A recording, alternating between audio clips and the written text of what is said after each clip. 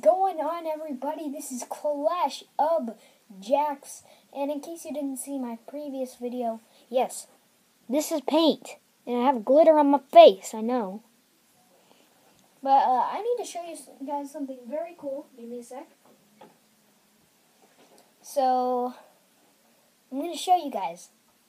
I am Batman. Don't care what you guys say in the comments. I'm freaking Batman. Look at that.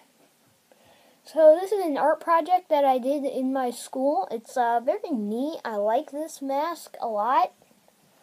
I like it especially like right here where it has the open face. Where I don't like it, I don't like it right here on the nose because I wanted it to be like down to here on my nose so then I could still breathe, but then it would look more Batman-esque. Then I have the little ears, which are really cool. But I wish the mask would, like, go on my entire face. Like, if it went around, that'd be a lot of plaster. And yes, this is made out of plaster. And a lot of paint. And yes, this is paint. And just a lot of money for my school. That'd be just way too much. Ugh. Ugh. I've got trouble getting it off.